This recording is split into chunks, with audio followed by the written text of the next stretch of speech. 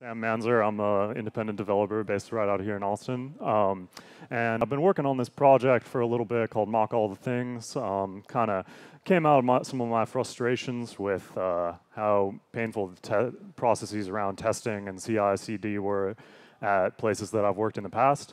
Um, I think probably a lot of folks in this room have had similar frustra frustrations. Um, and so I want to talk a little bit about that, um, talk about kind of what I've been prototyping um, to maybe get a little bit more efficient, uh, less painful process um, for ensuring that the software that we build has the quality that we want.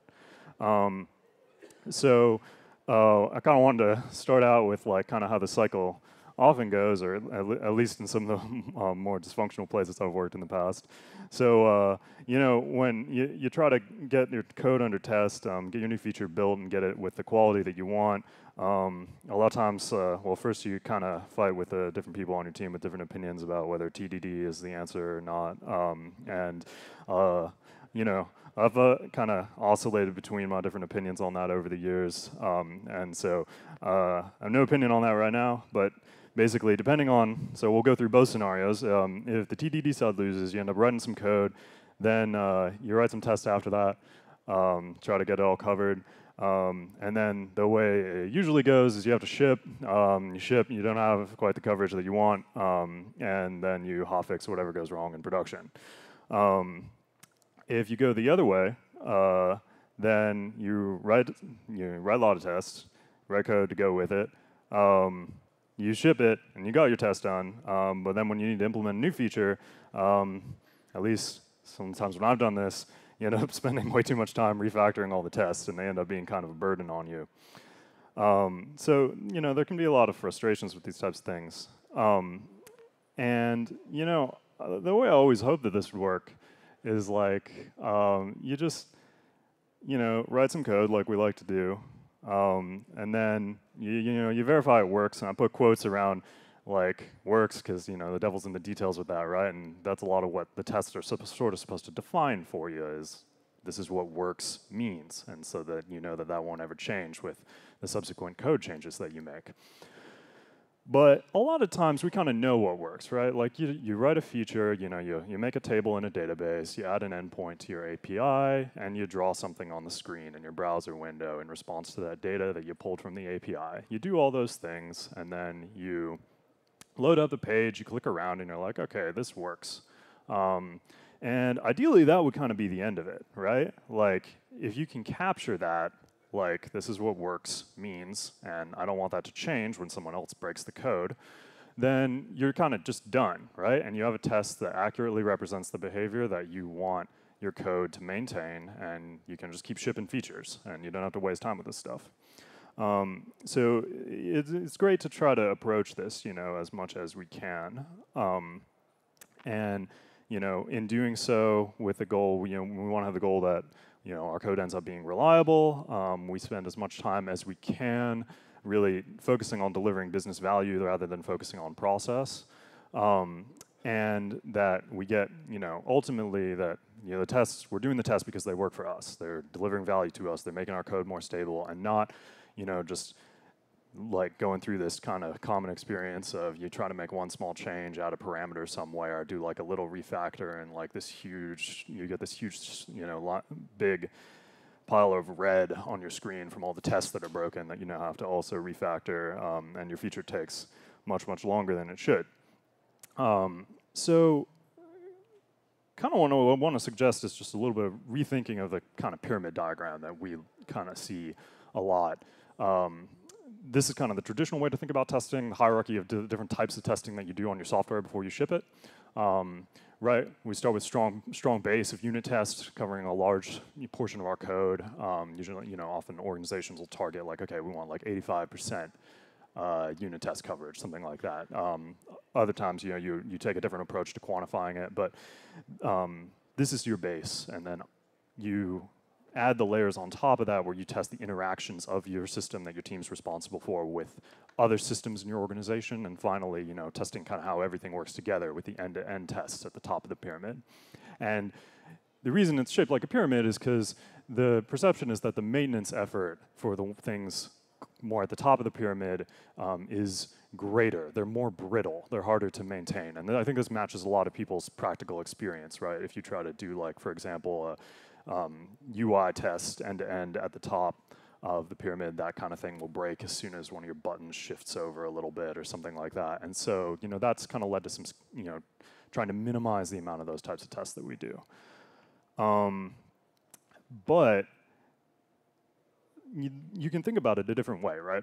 Um, a lot of times, the high level functionality is the stuff that is um, more stable due to stronger contracts with the people who are consuming it, right? If your team is responsible for some microservice um, that sends data with a particular schema, if you change it, all the other teams that are consuming it will yell at you, unless. And so, in a big organization, you have the kind of standard friction of you send an email saying this change is coming, migrate by this date, and then the date gets pushed back and back, and eventually you migrate the other team's code yourself because they don't do it. But anyway, so like uh, this this is kind of a standard thing. And if, so if you anchor your test at a high level, one, that high level code calls a whole bunch of lower level code all the way through the stack. Um, so you get a lot of coverage with relatively few individual test cases. And you um, don't have to change them as much because the interfaces are more stable. Um, so this approach of generally just trying to test at a higher level uh, is enabled by a lot of the modern technologies that we hear you know, about in all the other talks here today. Um, and that you know kind of form the foundation for DevOps as a field, right? Containerization means you can spin up a whole new copy of your app in a very stable environment, very consistently, very quickly, and um, test it in a reproducible way.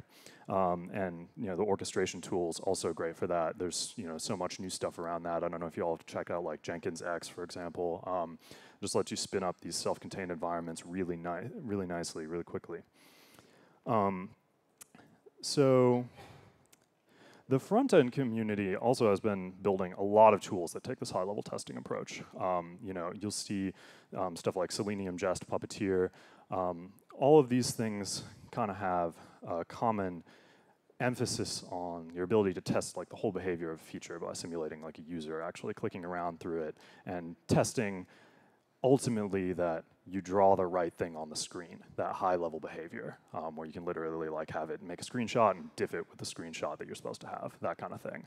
Um, I'm not a front end engineer, um, as y'all will readily appreciate when you see the quality of the UI in the demo, um, but this is, uh, so I can't tell you too much about the details of this, um, but the, I think what that community is doing is really cool. Um, it's really forward thinking.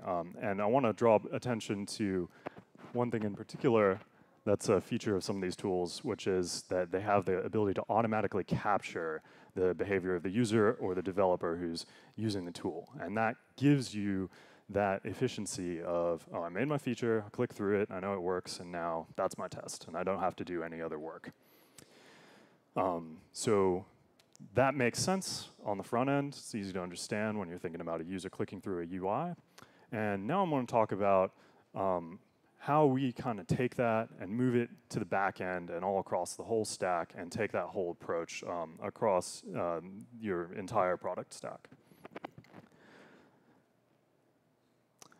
So in general, you could call this maybe like recording-based testing, um, where you are recording what's going in and out of your application while it's in the state where it's performing correctly um, at some high level, like at the level of the REST API that your microservice implements.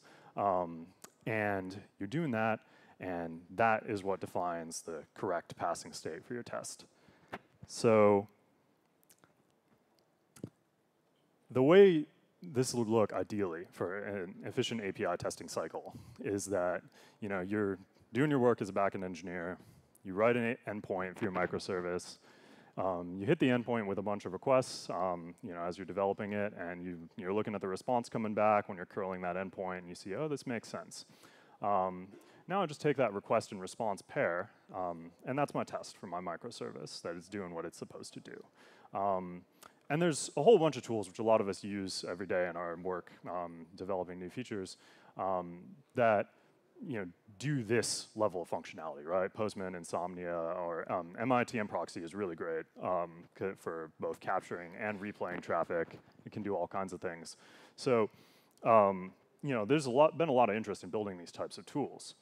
Um, the problem is how you deal with dependencies. So if you're trying to test your code at a high level by hitting an API endpoint or calling a high level function, um, the trouble you run into that we're, all, we're probably mostly all familiar with is that your dependencies on things like databases, your downstream microservices that some other team owns, um, the third-party APIs that you're using, like you're pulling from the Facebook or Twitter API or whatever. Um, all those things make it harder to get reproducible tests that are fast to set up and fast to run.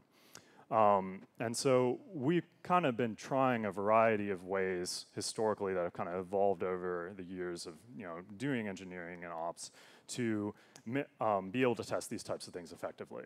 Uh, the first one is way that I'm going to talk about is kind of like um, I call it stack in a box, um, where you have a bunch of Docker containers for all of the different services that your company um, has across all the different teams, and whichever ones you need, you just spin up an instance of them with Docker.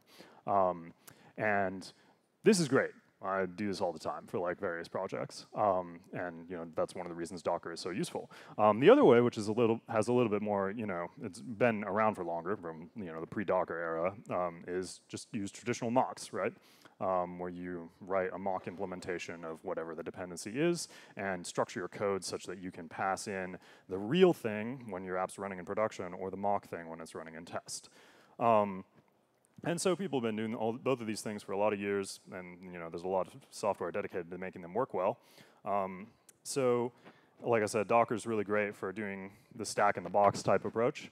Um, the challenges you run into with that, that a lot of you have probably seen, is one, you have a lot of overhead, right? It can take a, if you have a bunch of test cases you want to run, and they're all dependent on, you know, having some Docker instance running that is, you know, one of the databases that your tests are running into, um, then it takes you know a good amount of overhead to make sure that that thing's spun up and clean every time, every time you run a test case. And if you don't do that, then you run into the second bullet point, which is the test isolation issue, where you know you're you have a whole bunch of test cases. They're all trying to write into a database, and they clobber each other's records. And depending on the order they run in, you'll either be green or not green, um, and it's flaky and frustrating to debug, right?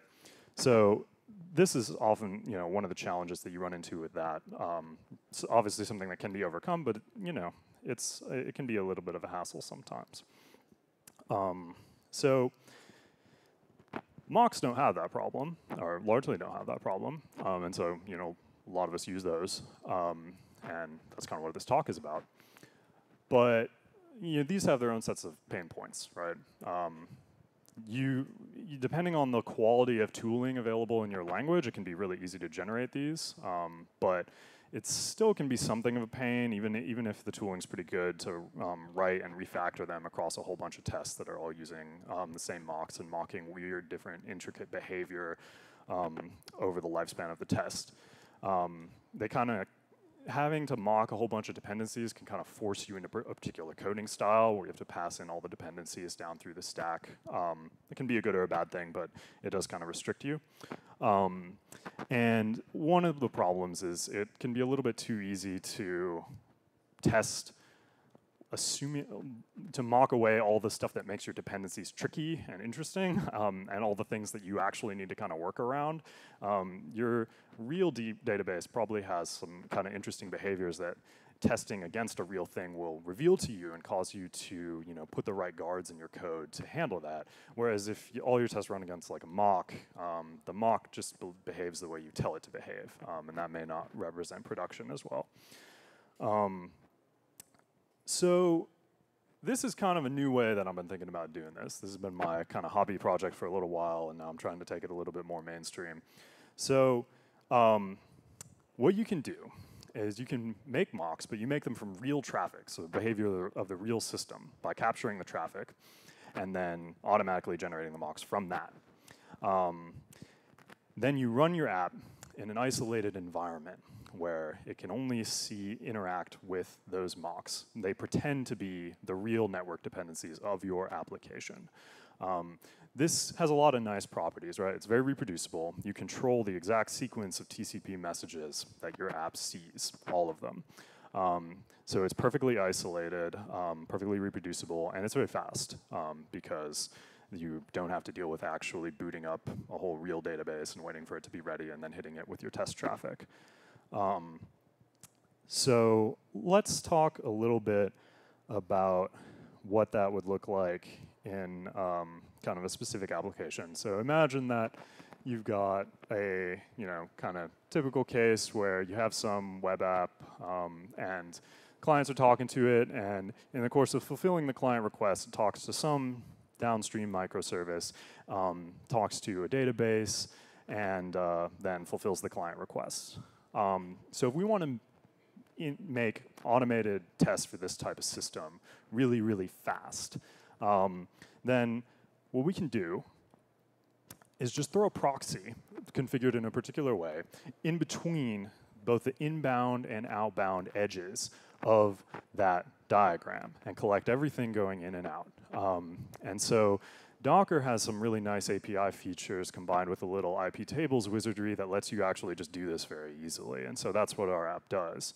Um, it doesn't work for anything except Docker yet. I've got to put this disclaimer out there, but it will. Um, so if there's a particular deployment that you want it to work for, like a particular type of VM or something, come talk to me. I can prioritize it.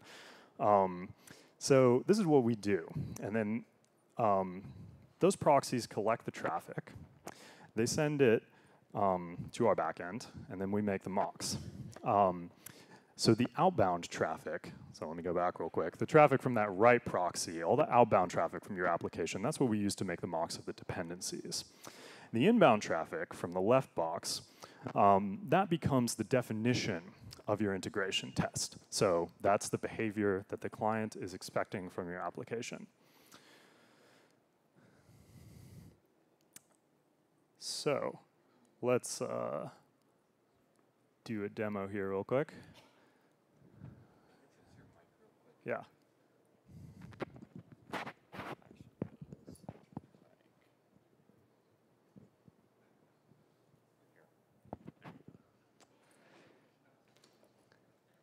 Awesome, thank you.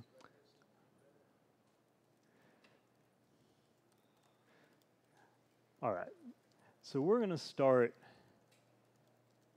an example application to test. Yeah, yeah, yeah. Um, all right, so, all right, how, how, how does that look? Can people read it? All right, great. So, um, so I've fired up Docker Compose, and what that's doing now is making this site, which I'll also zoom here. Um, so, kind of just this example photo manager thing. And just to illustrate the type of data that we capture. So it lets us create photo albums and upload photos. And so we've got that running. Now I'm going to come back over to the terminal and make that bigger again momentarily.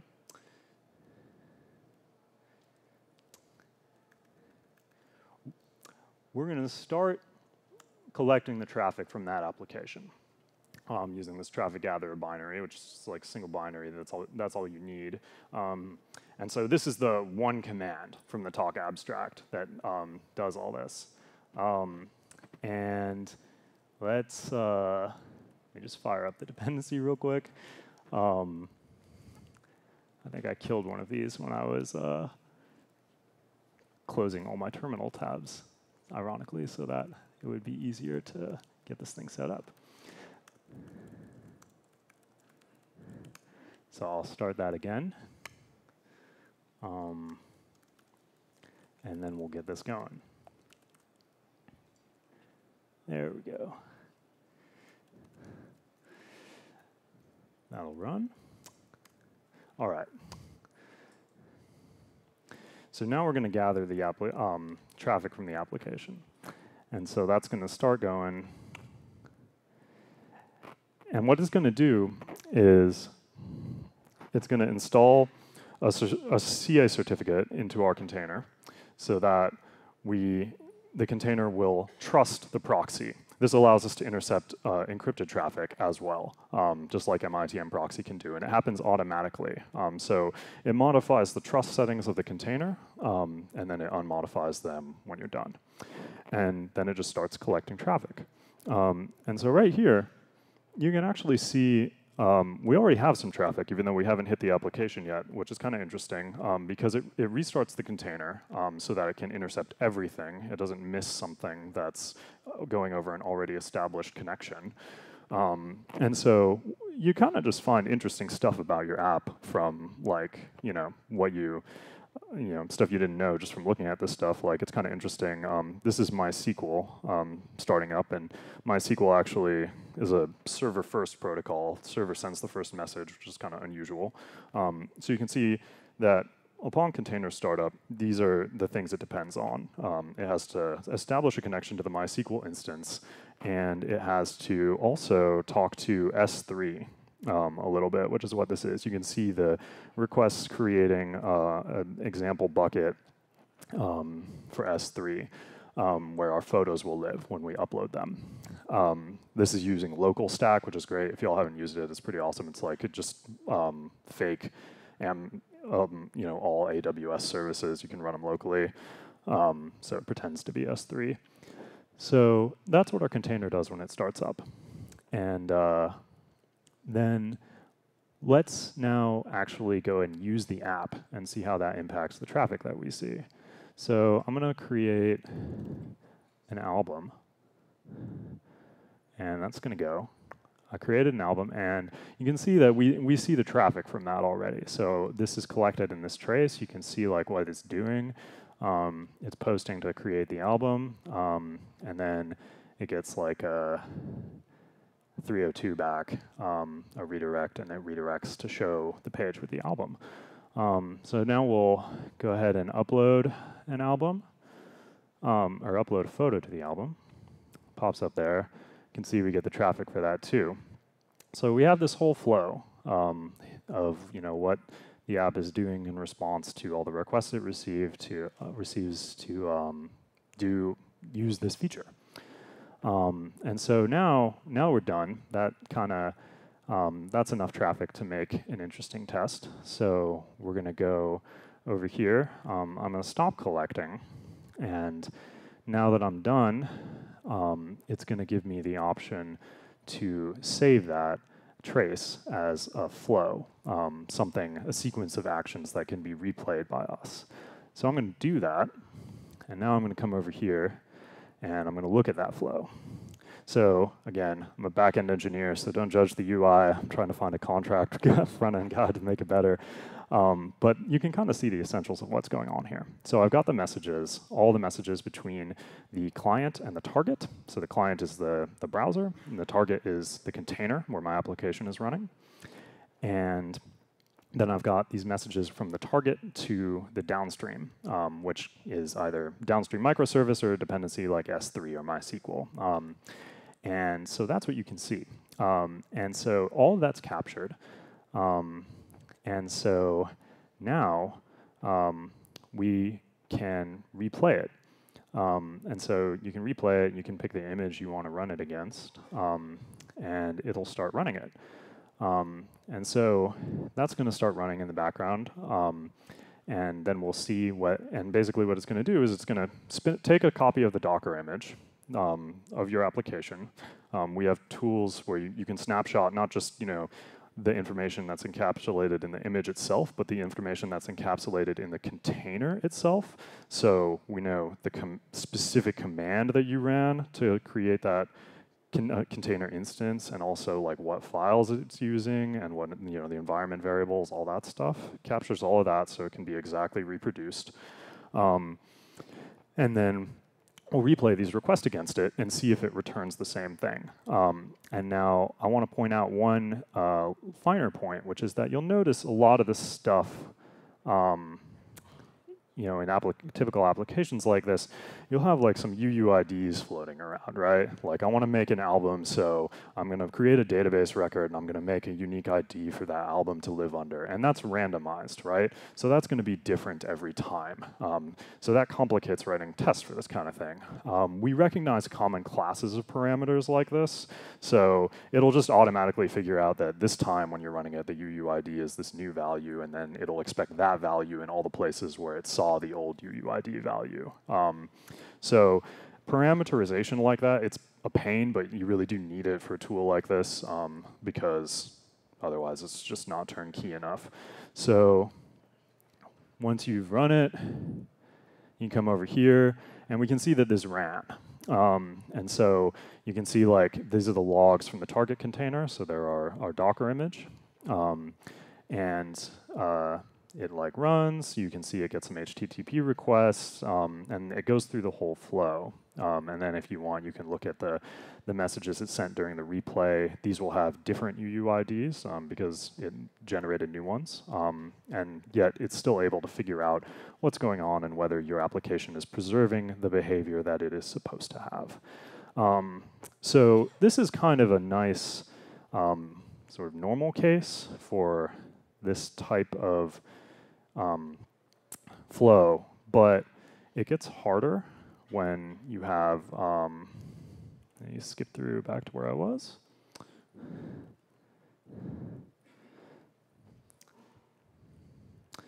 So it gets harder once you have um, concurrent requests. So if you imagine you want to, you, because it's nice and it's where everyone should start to try doing this kind of thing on your dev machine, right? Where you have your copy of the new feature that you wrote and you want to make some tests from it. But you can also do cool stuff like capture production traffic. And this is very useful if you have a whole bunch of users, they're using your site, and you want to, um, if you're doing something like, for example, what the folks talking right before me did, where they are, um, right, you know, they need to move from one deployment on some hardware to like a different cloud provider, a new hardware, and you're like, what's that going to cost? You know, how's it going to handle the load? The fastest way to get load tests that are accurate, they have high fidelity, they accurately represent what your system actually experiences when it's under load from your customers is just to you know, capture this stuff. Um, so if you want to do that, it's great to just capture production traffic. Um, but it's hard to figure out how that groups into reproducible flows because if you imagine this situation where I got two users at one time, one of them sending me a get and one of them sending me a post, um, and then in response, those requests take a while. My app does some processing in between, and the and then it sends two messages, one for each request, a write and a read, to the DB does some more stuff, and then sends something back. When I look at this trace, and I've collected all this traffic, well, what goes with what, right? I don't know which of those DB messages go with which upstream request. Um, so I don't know how the how those dependencies are um, linked together, right? I've labeled them like we know what goes with what, so they have the same um, they have the same colors, but uh, in the in the real world, I don't know. Um, but we can figure that out um, through the way that our replay works. Um, and so I'll kind of show you that in action. So let's go back over to the terminal and run one more of these. So I'm going to start a simpler container that I'm going to harvest the traffic from. Um, and it's just going to have um, one is going to be one, one, one application container with one dependency that pretends to be a database. And then I'm going to send some requests to it. Um, so first I'm going to start gathering from it.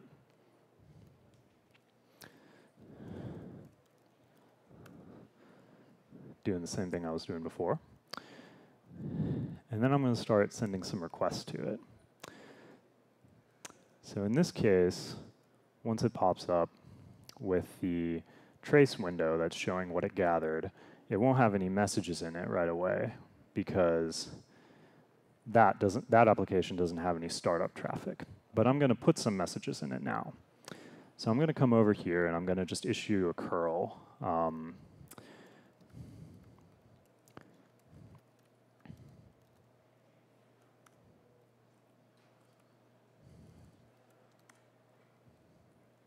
what? What port? All right. Oh, 6K. There we go. And so you can see then that um, these are all nicely in sequence. And actually, if I hit a different URL,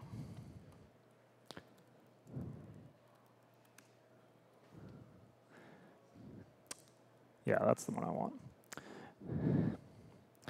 I have each of those requests come in, and you can see they send the request, your target container receives the request, it talks to the database, and then it sends a result back. Then it does it again and again, once for each client.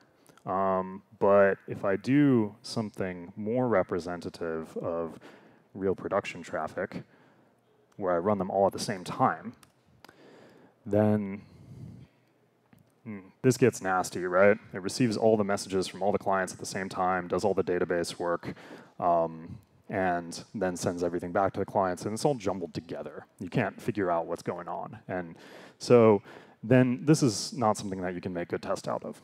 So Instead, what we're um, so we're going to go ahead and replay that um, with and see how it can disentangle that. So I'm going to kill the trace, and I'm going to save it.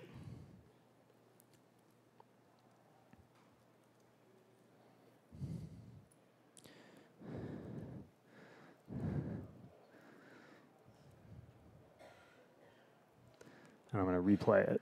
So it recognizes that there's multiple clients, and so it, it needs to break it up into the flow that each client is executing. Um, so I can start replaying it, and it'll run. Um, and it's going to break it up into pieces where you can see what in each individual client was doing. Um, so we'll wait for that to run. Um, since I'm running low on time, I'm going to go finish the small number of slides I have left. Um, no, no, I have to do this again. And then we'll go back and look at that. So yeah, so this is kind of in like, you know, almost beta phase right now. Um, and so kind of looking to figure out where to prioritize going with this. Um, and I love feedback from everyone who's interested in this type of stuff. Um, one way this can go is to do performance testing um, because you have an exact representation of the load that you receive from the clients. Um, and so you can very accurately predict um, the performance of your application in production by running it through these tests. You just capture your traffic and then you replay it at like 10x volume.